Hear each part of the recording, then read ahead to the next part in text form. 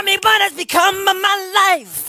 I have a wife and two children who love me. I am the victim of police brutality. No, I, am tired of being the victim of hate. You're ripping me of my pride.